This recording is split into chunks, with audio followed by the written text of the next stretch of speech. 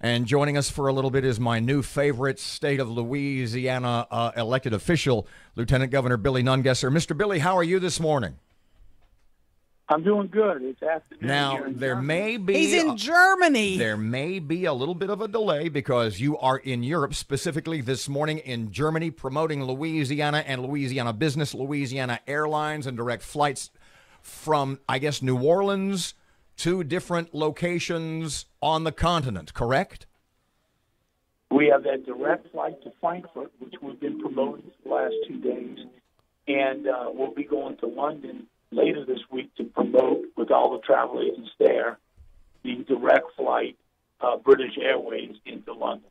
Okay, so I had said, and you heard me on the intro say, Lieutenant Governor Billy Nungesser, my new favorite uh, state of Louisiana elected official, because not only are you in Germany, you will be back in in England, specifically London, this weekend, where the Saints are playing. yeah, Wembley Stadium. You're going to go? But you're not going to go. Why?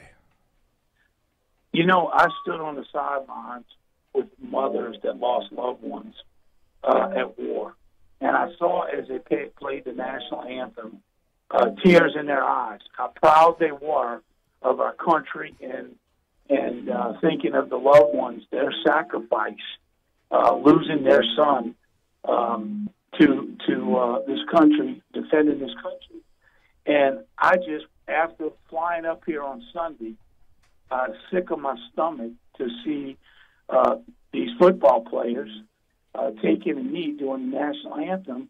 I cannot support any football, any event where they do not honor this great country and, and they do not stand and put their hand over their hearts for the national anthem. Uh, I just can't do it. Billy, what can the NFL do now? I mean, it's it's like they've gone down this road and there's going to be no return. There's going to be a lot of fans like you that are gone forever. How do they get themselves out of this? Or do they think they're in the problem? Well- do, do, do you think they think they have a problem?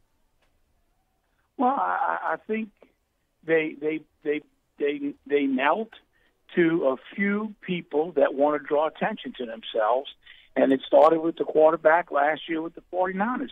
Look, with all their money and all their following, if they really wanted to make a difference, go out and do something or protest anything other than national anthem. They took one of the most sacred things we have in this country, where we all can agree we live in the greatest country in the world, and they decided to d- disgrace that in taking a knee. Shame on them. Let me ask you this. There's a couple of lawmakers who say we should now relook at our deal with the Saints. They get millions of dollars from Louisiana, and we might want to rethink this. Are you on that side too? Yeah, I, I don't know if the contract, uh, how it's written, who gave what when. Uh, so, uh, absolutely, I think the, the lawmakers taking another look at that. You know, the the, the taxpayers of of, uh, St. Louis built a new stadium, and they wasn't making enough money, so they up and left. And for the next 20, 30 years, the taxpayers of St. Louis will be paying for an empty stadium. So it's it's it's no secret that the NFL is all about the mighty dollar. So uh, will they stand if they're hurting the pocketbook?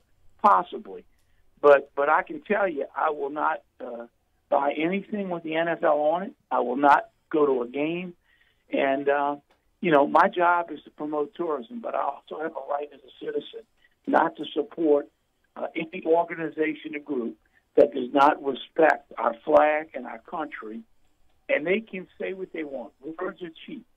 Actions speak louder than words. And their actions are a disgrace to this country. And for them to say, well, I still love this country, but I'm taking a knee to an anthem, you can't have it both ways. Uh, talk is cheap. And their actions show they have no respect for the national anthem. Mr. Bill, I- I'm going to kind of put you on the spot here, but you're a really good off the cuff, think on your feet kind of guy. So I know you ought to have a pretty awesome answer.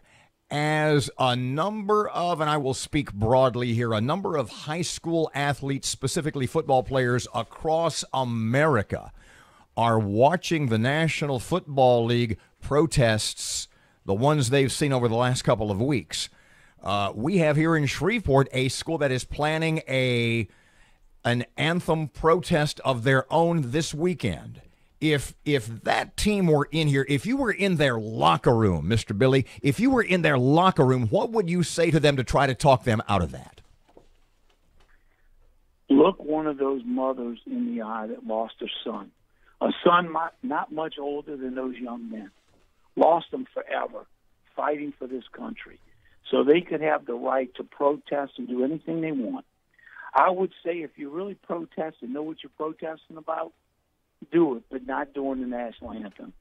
That's grandstanding. That's taking advantage of something that we hold very sacred uh, in this country and using that as a platform. Get on your own platform, do it on your own time, and get out and do something about whatever the hell you think you're protesting about.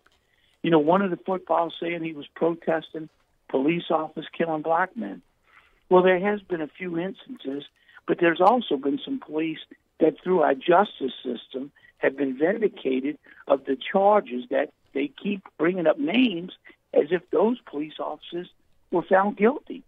So, so let's make sure we're being factual and not throwing cheap talk out there uh, to where they think there's an outcry of police officers just beating up on people or killing people. Because uh, the the majority of all our law enforcement goes out there every day and keeps us safe. Uh, so even, but for any protest, for any reason, whatever you think, do it on your own time, not during the national anthem. That's all I ask. Lieutenant Governor Billy Nungesser, one more question. What could get you back to the NFL? What could they do to get you back watching, back in the Superdome to watch the Saints? Stand up, respect our country, respect our flag, put your hand over your heart, and uh, and honor those that lost their life and those that are still serving in the military. That gives you that right to play football and make that money that you're making. None of those guys taking the knees are deprived of anything. Um, quit grandstanding. Get up and do the right thing for America.